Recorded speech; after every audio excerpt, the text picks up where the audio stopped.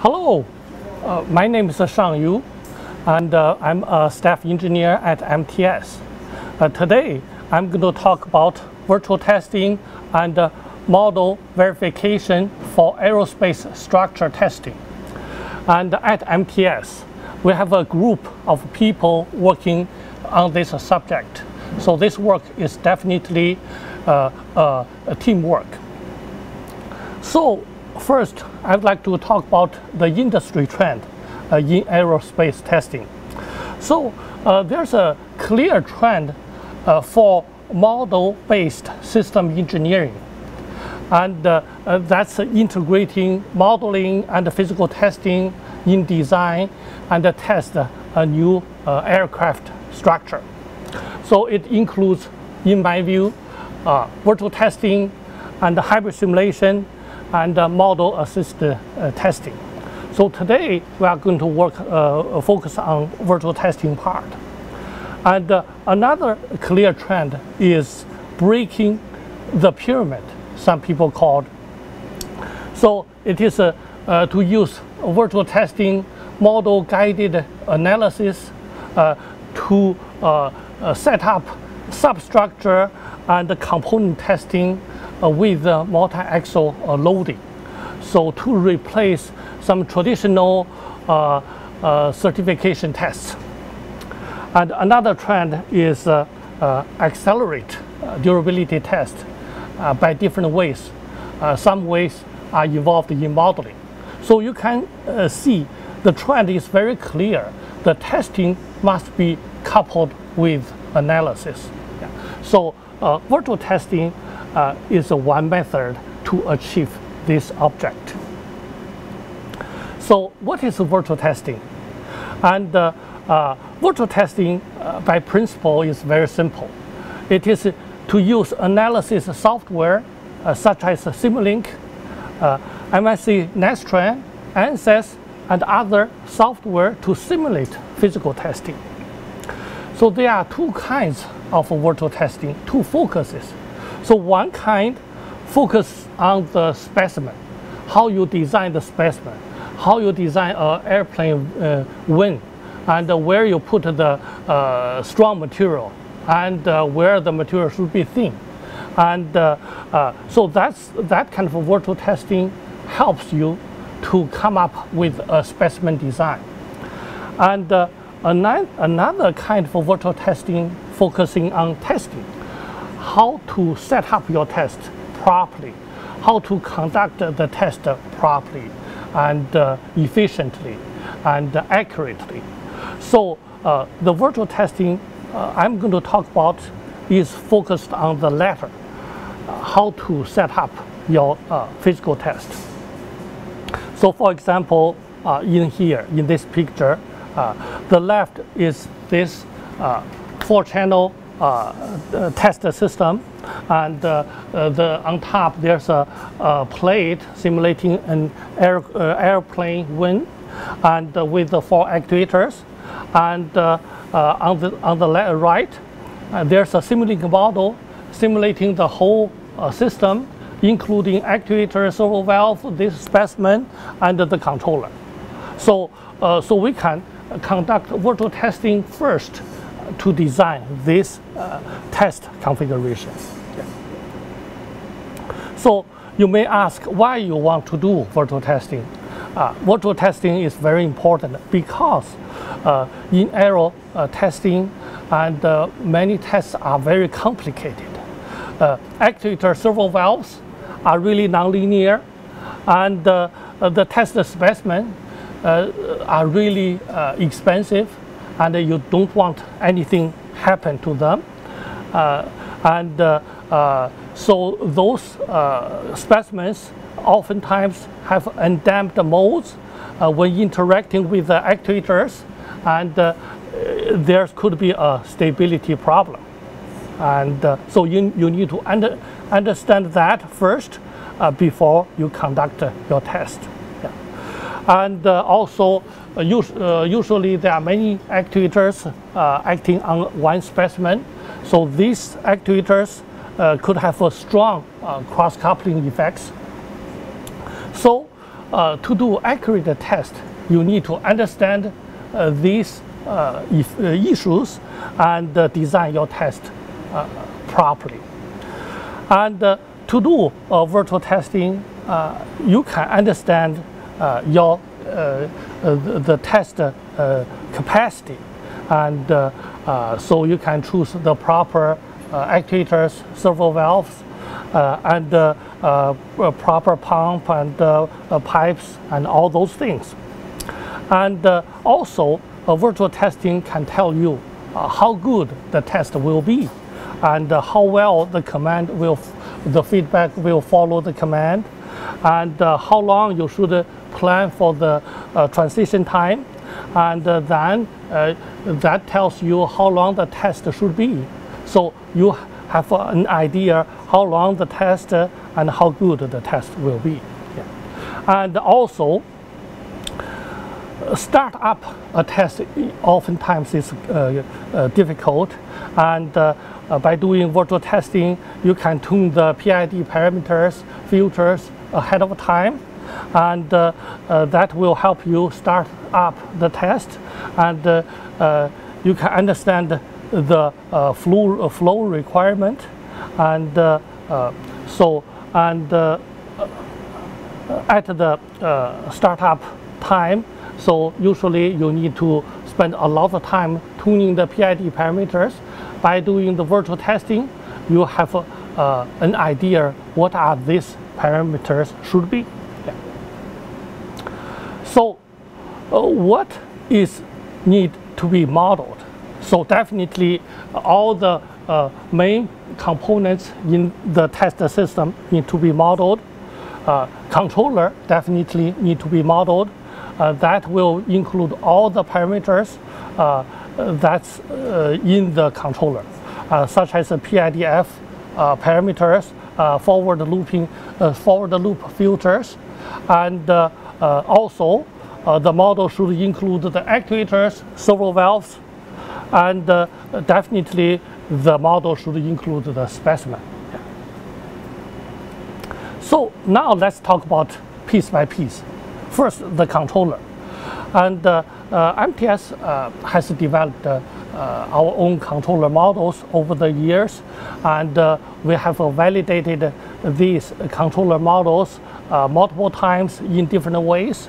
And these controller models include all the parameters uh, in the physical uh, uh, controller that you can adjust. For example, PIDF parameters, forward looping filters, and these models can be compiled in an S function format so that they can be solved really fast and uh, uh, can be uh, solved in real time. Yeah. So, as I mentioned, MTS has done multiple tests to validate our controller models. So one test we did was to let a real controller and a virtual controller run side by side.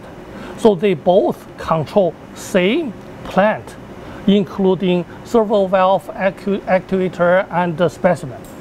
So then same command is sent to a real controller and a virtual controller uh, at same time in real time. And uh, a feedback uh, is from the, real, the real, real plant from the virtual side and the real side.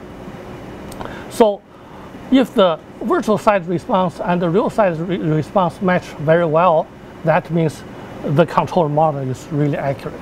So we have done this kind of uh, uh, validation multiple times, and uh, the, on the virtual side, the response matches really good with the real the response from the real side. So on the and also as I mentioned, actuator model is very uh, important in here, definitely. And uh, over the year, MTS has developed our uh, actuator models and for different types of uh, actuators.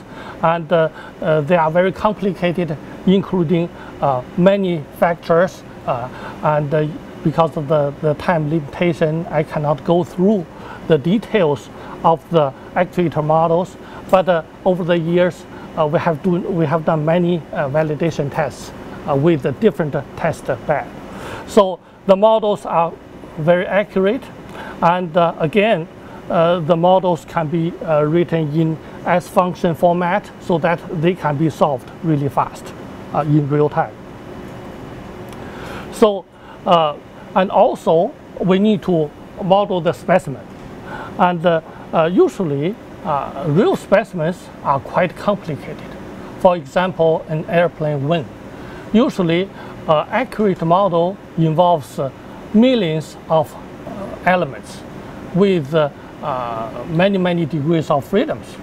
And to solve a model like that, it takes a supercomputer to run even days, probably, to solve one step. So that kind of model definitely cannot be used in this kind of virtual testing because, because the solving speed. So the technique we use is uh, to use a reduced order model approach. So reduced order model approach is to linearize the finite element analysis model uh, using mode superposition principle uh, so that uh, it is a uh, it can convert the real FEA model into a reduced sized mass stiffness damping matrices. And uh, it is a, uh, uh, so this reduced order model can be converted to a frequency response function. So this reduced uh, uh, order model can be expressed in four matrices. ABCD matrices and can be implemented in a Simulink model uh, in terms of, in terms of a state space uh, model. So in this picture, uh, you can see uh, there's a block, a testing rig, uh, RO, uh, ROM. So that's the reduced order model for this specimen. So with the reduced order model approach, the specimen model can be uh, solved really fast as well uh, in real time. So then we have all our uh, components uh, modeled and uh, the real uh, virtual test system is formed. Yeah. So for this example, and we have this uh, four channel uh, demo system. And uh, as I mentioned, we have a MTS controller model with all the parameters. And we have our actuator model, servo valve model, and hydraulic model, supply model. And also we have a reduced order model for this specimen. So, and then formed a, a real uh, virtual test system. So now let's see uh, the performance of this model. So as I mentioned, and we did a, a validation test, and uh, uh, we use a same square wave uh, to drive the virtual model and the physical system at the same time, in real time. And uh, in this case, uh, we use a square wave as a command, and this square wave in white and is sent to both virtual model and the physical system. So uh, the, uh, the green is the real uh, physical measurement uh, and the red uh, is the uh, model prediction. And in this case, in this plot, and there are four plots and representing four actuators here. And so at the beginning, we set the P gain to be one for both virtual and physical systems. And uh, you can see from the plots, the, uh, the model prediction matches very well with the physical measurement. And uh, uh the system, uh, uh, systems are stable for all the actuators. So then, next, on the virtual side, we changed the P gain to be 3. And on the physical side, we uh, kept the P gain to be 1. And uh, you can see uh, right away uh, when we start the uh, virtual model, you can see the spike. And uh, then the virtual model response and the physical measurement, they are different because the P gains are different. and the virtual side, the response has overshoot and but they are all stable. Yeah. So then uh, we changed the uh, physical side p gain to be 3 as well. So now the p gains are same. And uh, then you can see the virtual response matches physical response very well. So they all have uh, some uh, level of overshoot, but they are all stable. So then we changed the p gains for both systems to be 5. And then you can see both the virtual system and the physical system, uh, they have a, overshoot, uh, uh, high level of overshoot. And uh, for the uh, physical system, uh, for the number one and number two actuators, it shows some levels of instability. And the physical side, the, it is on the verge of instability. Yeah. And the virtual side, physical side matched fairly good. So then we increase the, the P gain further. Uh, for both systems, we change the P gain to be 6. And then you can see right away. So both uh, virtual systems uh, and the physical system, they got unstable. So from this example, you can see our uh, uh, virtual testing system is quite accurate. It can not only predict the response, but also it can predict instability issue. Yes. So uh, in conclusion, uh, so uh, virtual testing is a very effective tool.